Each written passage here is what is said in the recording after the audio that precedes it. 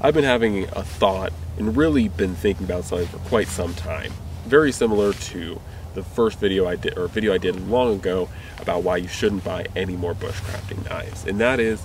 you know, what it means to be a master woodsman and what it really means to come out here, practice self-reliance, and not just practice self-reliance, but be good at self-reliance. And there's a lot of people that have been commenting and talking about how they only use this knife or they only trust this knife or this brand or they only you know they see a knife that I do a review on or they see you know a tool that I'm using and they don't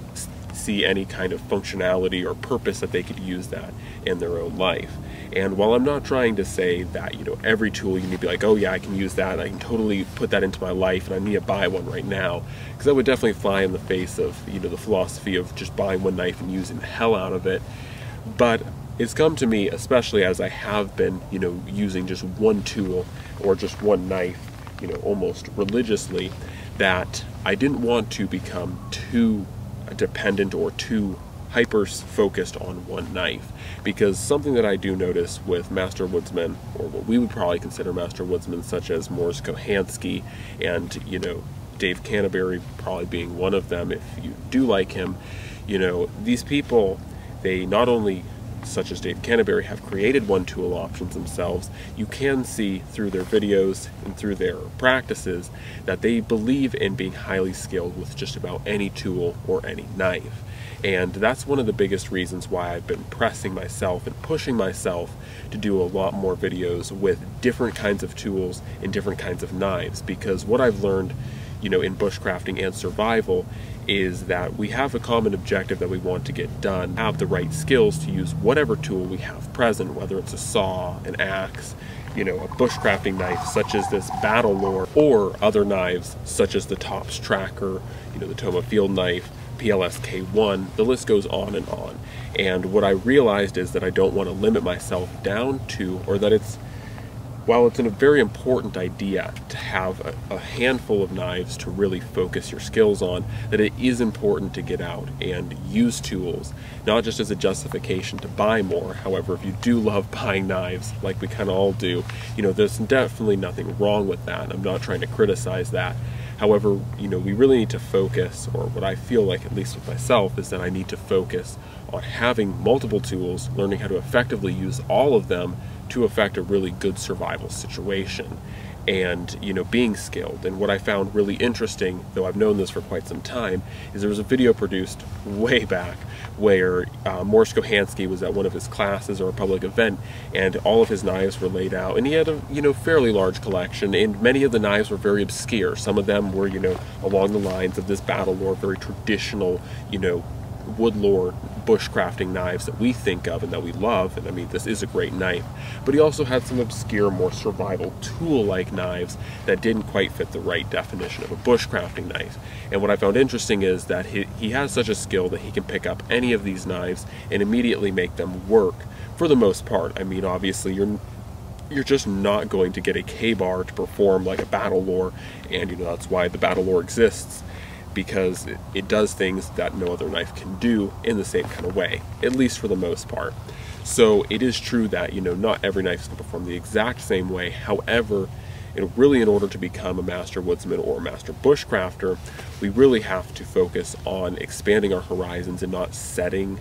at least for myself, you know, not setting a, a, tool limit or saying, you know, this is the one knife that I swear by, and you know, I don't see any use in other knives, or I don't see any use in that tool, but rather take those tools and try to find use in them. Try to find how you can use it to affect survival, and I think that that makes me uh, at least in my opinion, you know, when I try to force myself into that mindset, it makes me a better bushcrafter and a better survivalist because I can take what's around me and make survival happen. Whether it's, you know, the knife that I really wanted to use for bushcrafting or a knife that I would probably rather not want to use for bushcrafting. So that's kind of what I so that's what I wanted to talk about today.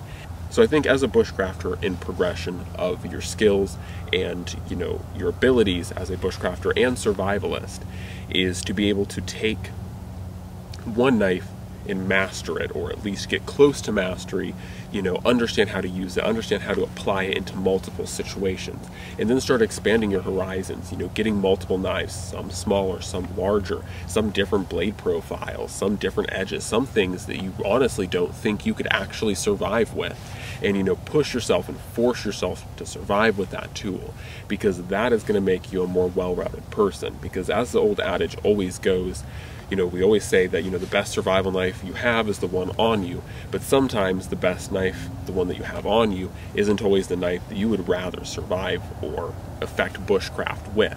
So, putting yourself into those situations prematurely and learning how to use these tools, such as a Tom Brown tracker, makes me a more effective bushcrafter. Not necessarily than you guys. This is more of a personal, you know, learning experience for me, and it makes me a better bushcrafter than my old self because my old self would have just simply sworn by, you know, a BHK battle lore. It, I would have simply sworn by, you know, a uh, Chris Reeve Knives Pacific. I would have simply sworn by knives that I know how to use, that I trust and you know I would have just called it at that. However, like I said, there's many situations that I've been put in where I didn't have the knife that I wanted to have in that situation. I didn't always, it wasn't always an option to, you know, use the best knife, you know, the BHK or, you know, the Tops Fieldcraft. They weren't always an option. So being able to be multi-rolled or multi-talented with tools not only is important for knives, but it also goes back to bushcrafting and being able to use other tools. You know, knowing when to use and how to use saws, knowing when and how to use axes, knowing when and how to use multiple different tools in your arsenal to make a self-reliant situation happen. And not only just happen but be successful. So anyways guys this is just a personal rant and something i wanted to get off my chest and talk to you guys about. Because the biggest thing for me with bushcrafting and with this youtube channel is it's all about not necessarily myself but just what i'm learning and what I'm experiencing. And I wanted to share these experiences with you guys. As always, hopefully you've enjoyed this. God bless, and I'm out.